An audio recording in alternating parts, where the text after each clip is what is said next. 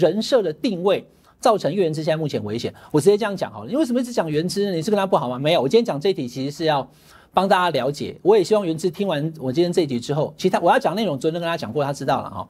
他要靠着三个步骤去帮他过关呐。那人设这个部分是最重要的。我举个例子好了，难道绿营不会想要霸徐巧芯吗？好，巧芯在蓝营当中是战将，可是绿营是首恶啊，绿营对他很讨厌呐。也就是在绿营选民的心中，徐巧芯的仇恨值其实是比岳元之高的。那你怎么讲岳元之？你是拿柿子挑软的吃吗？哈，罢免去找岳元之吗？不是，是因为徐巧芯的仇恨值虽然高，可是他的拥护度也比岳元之高，好不好？我今天这一题就是重点在这里了，精华就在这一段，好，把它解成是前面的预告了。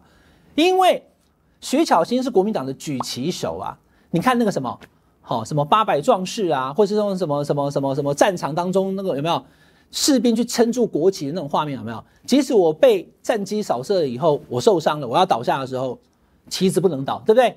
旗子不能倒啊！一个一个将士用命顶上来，就要把这个旗子撑住。就算我全身弹孔，我也不放手，感动人心嘛，对不对？所以国民党的举旗手。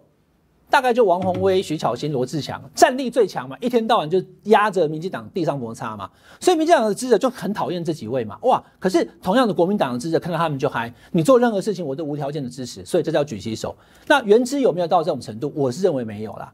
就原之在民进党的仇恨值不高，他会上三立嘛，他民进党的支持看他看他，然后也蛮有喜感的，开开玩笑。可是呢，也因为这样，有一些国民党支持讲说啊，你去上那个干嘛？